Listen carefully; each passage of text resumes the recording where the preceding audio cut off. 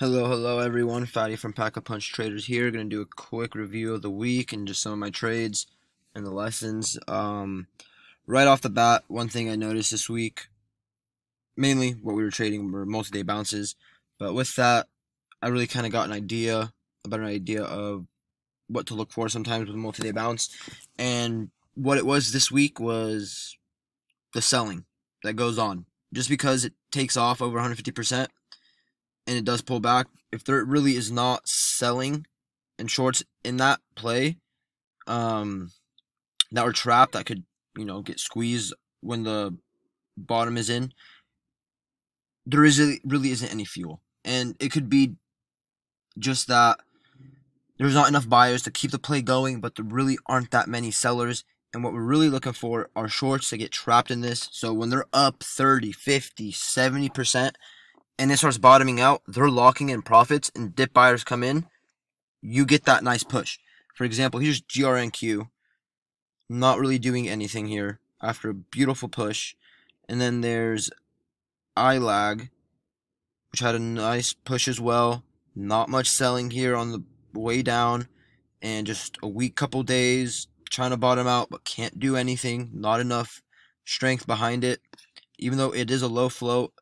Um, now, watch one of these plays just take off this week. But so far, what we're noticing this week, the plays that have more volume, more selling going on, um, on the way down, those are gonna be the ones that have a decent push. We got BNSO here, some decent selling going on, strong push. Um, of course, every once in a while you'll find one that isn't like that. But here's another one, decent selling, fails to break down around a whole dollar, half whole dollar, half dollar area. You get the squeeze. Um, so I don't want to spend too much time on that, but just something I'm recognizing. And here's one that we're going to be looking for. It's on the watch list. We have decent selling here after a nice push. We'll be looking for shorts to get squeezed. And this is a super low float. Um, so that's really been the case this week. Main four out of my seven trades were multi-day bounces here. One, two, three, four. One failure on the open price play, and then we had a breakout on ILAG on the way up. That was pretty good. I didn't have that much size in it, which is why I was patient and got bigger percent gains than usual. But you know, just what we're usually talking about. Looking for the float, looking for what has demand behind it. It's holding trend, failing to break down. Here we got the breakout. What was it? One second. On the 8th, yeah, it was this day when it confirmed. Oh, yeah, I remember this one now. It had the nice push after hours, and then it came back, failed to break down. And we got that confirmation. Shorts couldn't break this down, and then they got squeezed. Um, it's really that simple sometimes. You're just looking for that initial initial jump. You just need some shorts to get caught in there. And then from there, who knows how high how high it could go. As long as shorts keep getting trapped and it fails to break down, that's why we look at the volume, the demand, the trend. If it's still intact, shorts could continue to keep getting squeezed. So even though it was coming back after a nice push to five, in my eyes, if it came back, failed to break down, which is what happened. I was going to see that as a failure for shorts to break this play down and that it will be a confirmed breakout. So that's the lesson from that one. Um, why we focus on trend and demand because that's how you're going to get shorts tripping, uh, slipping.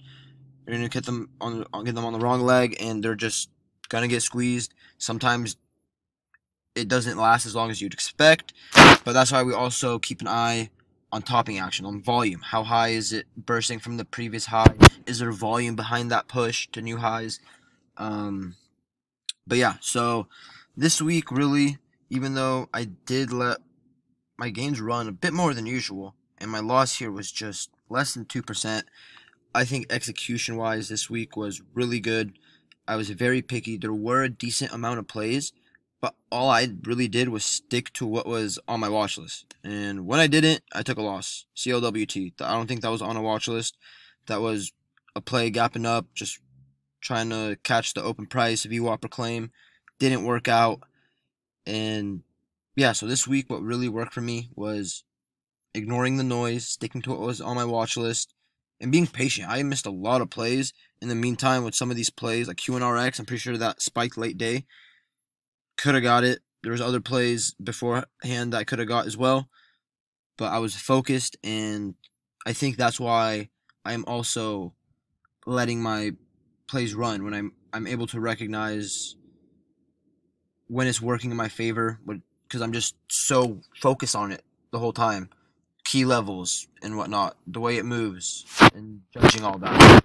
Um, noise and being picky this week has helped, and it's also helped that recently there were a lot of spikers, so a lot of multi-day bounces, and it's one of my favorite patterns. So that also helped keep me patient as well.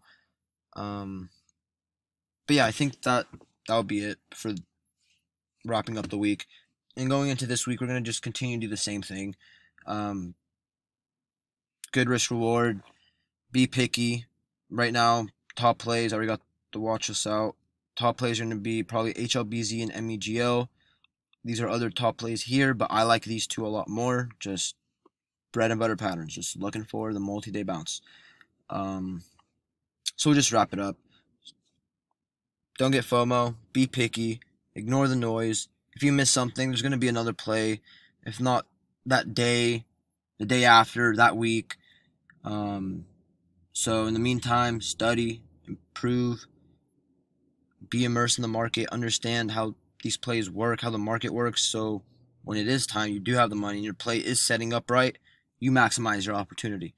Um, so yeah, I'm kind of rambling now. We'll just wrap this up. Hope everyone had a great week as well, or learned something. Um, I got the video lesson going over the top plays as well. I need to upload that right now. Besides that, hope everyone had a great weekend, rested up, learned something, and get ready to attack this new week. Have a great one.